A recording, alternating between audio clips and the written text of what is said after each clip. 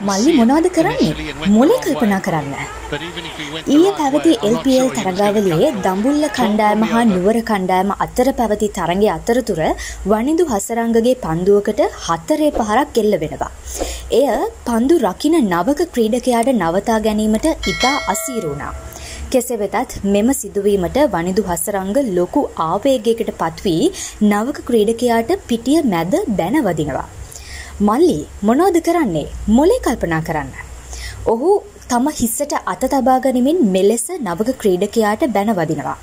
කෙසේ වෙතත් මේ වන විට මෙම සිදුවීමද මුල් කරගනිමින් සමාජ මාධ්‍ය තුළ වනිදුට විශාල ජනතා අප්‍රසාදයක් පලවී තිබෙනවා. මිනිසුන් ප්‍රකාශ කරන්නේ මේ ආකාරයට වනිදු මොලේ කල්පනා කරා නම් ශ්‍රී ලංකාවට මෙවර ලෝක කුසලානේදී පළමු වටෙන්ම ගෙදර ඒමට සිදුවන්නේ නැතැයි කියලයි.